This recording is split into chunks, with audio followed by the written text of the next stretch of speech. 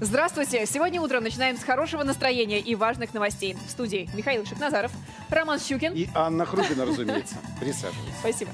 Ну, я принес вам хороший, чайно полезный продукт. Другие о том, что это через... Ты Как и все что ли, мы. дома? нет? Вот разберем. Прошло столько дней, а я не Я прекращал. Ничего не Да, да. В Туркмении Абсолютно там наблюдает то, Туркмения, что огнепоклонники же там были. И ты знаешь, и все время... Я буду говорить простым э, народным языком. Это своего рода бутерброд.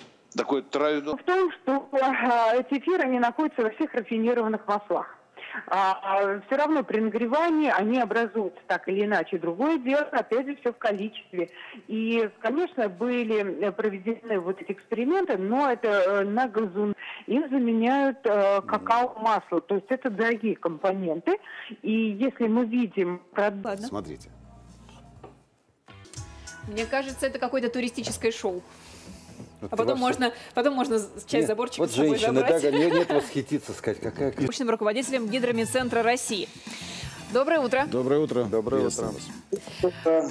Как, по-вашему, вот обнаружение этих тепловых бомб внесло какую-то ясность и понимание процессов, которые вызывают климатические перемены? Или все еще больше усложнилось?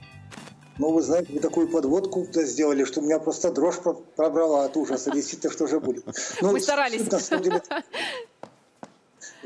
су- суть такова, что вот в других стран вот это главная проблема потепления. И это мы тоже сегодня упомянем. Ну а пока все-таки как-то можно воздействовать на движение этих завихрений и остановить буквально минирование Арктики? Нет, нет, никак воздействовать невозможно. Ну, на самом деле, Гольфстрим или Североатлантическая типогенная деятельность, только деятельность человека. Конечно, и раньше, и раньше э, на Земле был- был- была температура и выше на 10 градусов, чем сейчас, и ниже, да. Но никогда еще с такой скоростью, я бы даже сказал, с ускорением, не происходило это потепление. Ну что ж, будем надеяться, что человечество и эту проблему тоже обязательно решит. Спасибо вам большое. О том, что такое тепловые бомбы в Северном Ледовитом океане и как они влияют на мировой климат, мы говорили с научным руководителем. Встречи уже завтра утром, ну а сейчас передаем слово нашим коллегам из новостей. Всем пока! Счастливо.